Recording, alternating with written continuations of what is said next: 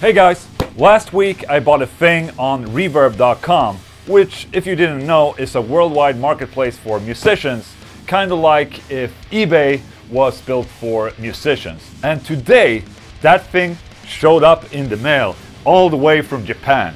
I'm very excited because the thing in this box has a very special place in my heart.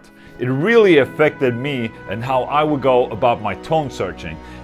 In here is my first love, my sexual debut in guitar playing. Back in 1995, it took my virginity and I will never forget it. Let's open it up.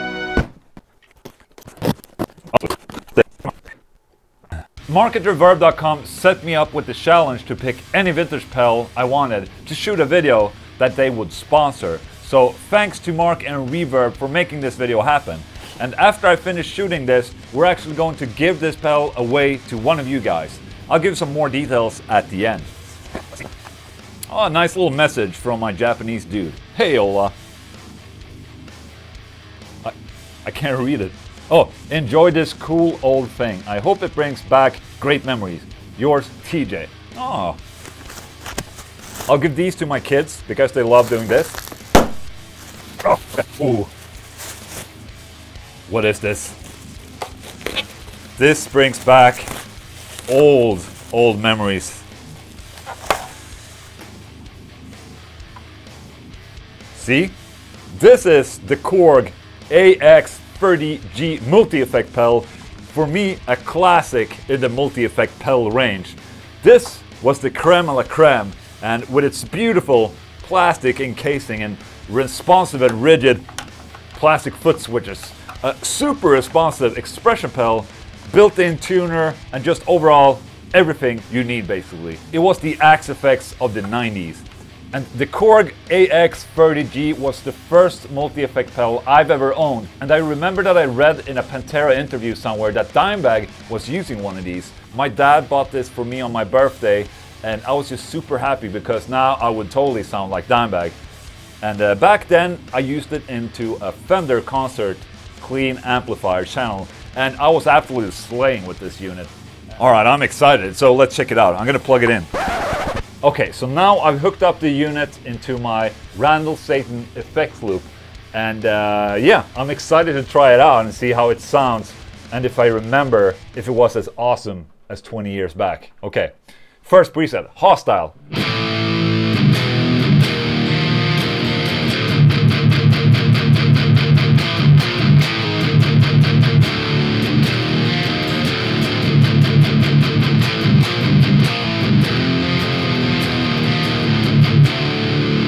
Not too bad. Oh!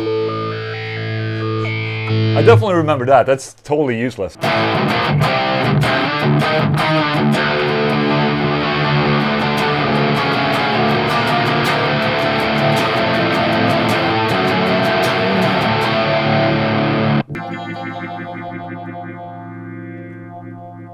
That's nice.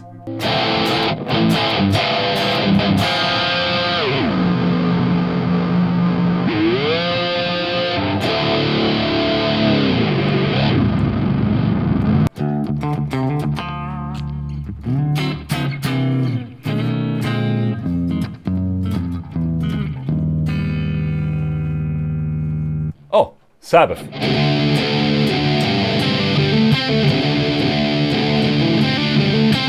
Sorry, Sabbath. I f***ed up your lick. Uh.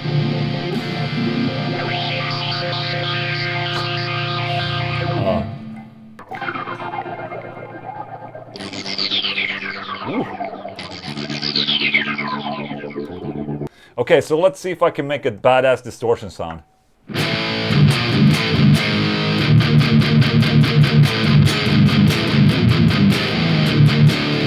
Pretty badass as it is. Edit. No. Okay, no.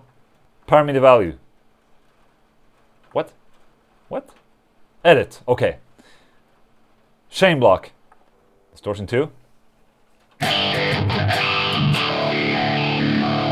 Okay. no. No reverb. Okay, how do I get rid of that weird sound?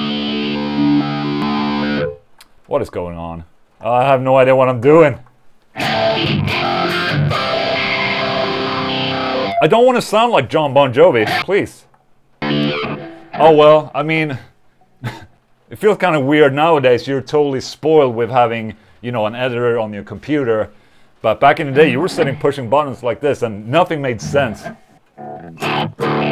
Oh, random step filter. Yes, away. No, no.